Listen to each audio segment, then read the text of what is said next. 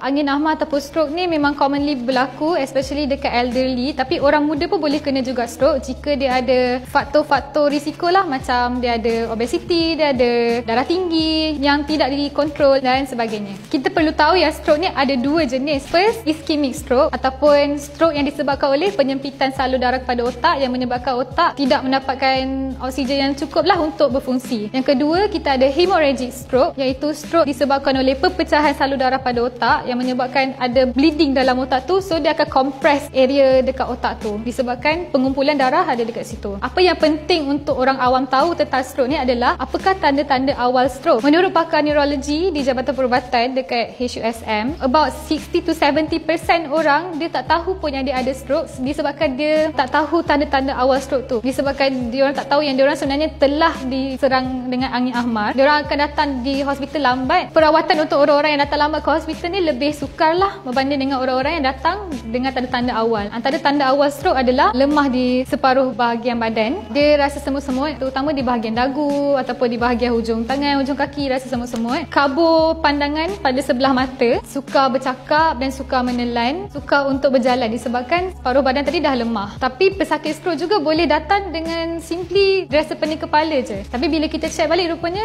dekat MRI brain dia, dia dah ada tanda-tanda untuk kena stroke. Dengan kita tahu tanda-tanda awal untuk stroke ni, kita boleh membantu orang yang kena stroke dengan lebih cepat. So ada akronim dia untuk tolong orang yang kena stroke iaitu kita kena ingat FAST. F maksudnya facial drooping, maksudnya sebelah muka dia dah kelihatan sengit. Kalau kita tengok dia senyum pun senyum dia sengit sebelah. Kita tengok mata dia pun mata dia macam tertutup sebelah. Tu maksudnya orang kena stroke. Second A, arm. Arm maksudnya dia dah lemah separuh bahagian badan dia. So kita nampak dia tak boleh nak angkat pun tangan dia. Jadi itu adalah juga tanda orang kena stroke. S adalah speech maksudnya dia dah tak boleh nak bercakap secara normal. Dia sukar nak bercakap. So T time to call 999 uh, segeralah dapatkan bantuan untuk orang yang nampak ada tanda-tanda stroke tu. Ok ubat ataupun rawatan supaya tidak mendapat stroke ataupun cegah daripada dapat stroke ni lah. Let's say kalau dia ada darah tinggi dia kena comply lah dekat ubat darah tinggi dia. Kalau dia ada kecil manis dia kena kawal lah. Dia punya pengambilan gula paras gula dalam darah dia. Untuk mengelakkan dia punya salur darah tu tersumbat dan seterusnya mengakibatkan embolus tu boleh travel to dia punya brain and will cause stroke if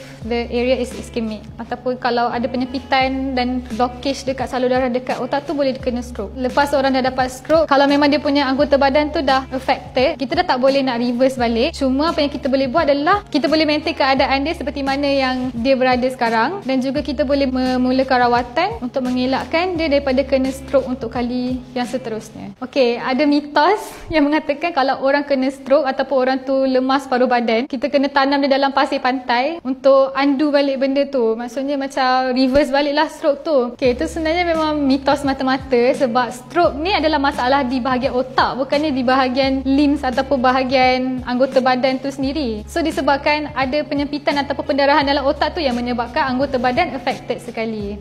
Um... So kita tanam otak je? tak kita tak perlu tanam otak dia. Apa yang kita perlu buat adalah dapatkan rawatan segera untuk orang yang ada tanda-tanda awal stroke